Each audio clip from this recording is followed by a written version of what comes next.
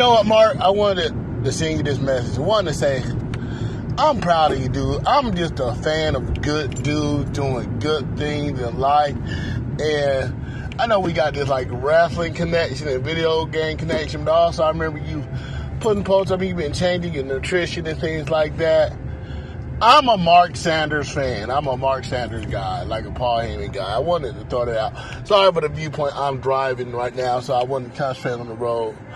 But yo, man, check this out. So I've been doing this powerlifting, right? And the unique thing about powerlifting is you get to come out to your own music. And I was doing that, the body hit the floor, because I like that heavy music and all of that, right? But quite honestly, I, I, did my first charity event, and they were, they were at the Special Olympics. I don't know if you saw it. No, it was Special Olympic actually. Excuse me, and it was for the Special Olympics.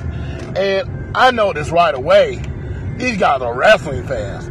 I'm hearing Cody Rhodes theme song. I'm hearing um, a couple of other things. I'm like, these guys like wrestling. I'm like, who better?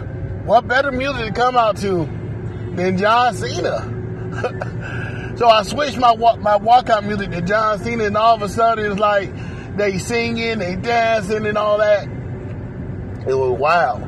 And I think I became more of a John Cena fan because you're such a big John Cena fan. I've always thought John Cena was okay, but when I see that Make a Wish thing and you being on that episode, and then I see how it meant so much to you, like stuff like that, because I'm not as big of a wrestling fan that I used to be, but I'm more of a person fan. What is that person like, you know? And John Cena is a good dude. And, you know, I was inspired to even look at it, interviews, and podcasting because of you. So thank you. So at that Special Olympics thing, they got hype, and at my powerlifting meet, quite honestly, somebody got hurt and I was using let the body hit the floor, and they're like, uh, we don't think that's kind of appropriate with what's going on. So I'm like, John Cena. And once again, and I don't know if people know him, don't know him, used to watch wrestling, whatever, but it's just something about when that song come up and I get the dancing and you can't see, dude. I know I'm I'm I'm I'm, I'm blabbering. I walked up to a 606 pound bar, uh, deadlift that I've never been able to do in a competition, even though this is my second one.